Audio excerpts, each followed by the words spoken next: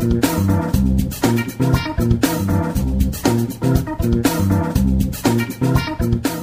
Joe Haley. You're watching The Joe Show. Check out today's first product. Now, we're looking at products you still have time to get your logo on and give to your clients this holiday season. So rather than going to the mall and buying them just a silk scarf, here's some other ideas. Um, this is a leather portfolio. What I like about this one is that it does have handles.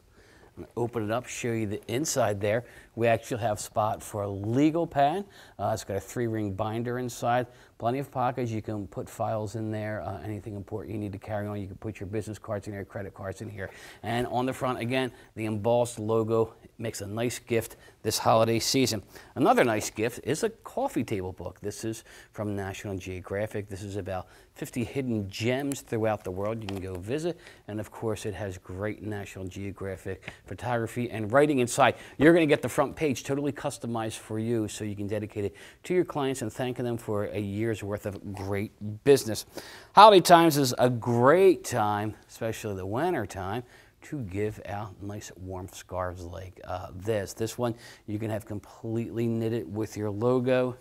You can have a company name put in there. Send it to your clients, especially those in colder climates uh, this holiday season. Maybe you want to package it with wood carrots and pieces of coal and tell them to build their own snowman once they get this.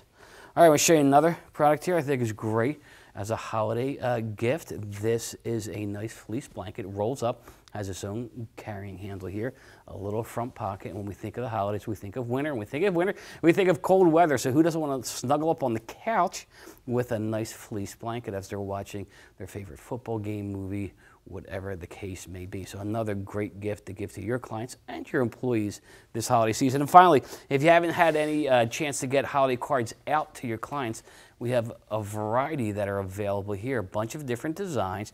And the cool thing about these, if you'll see on the ribbon here, that you can have your company name customized there, your own custom message inside, and you can actually have the names of your employees put in there too, but my recommendation would be to actually handwrite out your cards because it shows that you thought about your clients when you were putting pen to paper.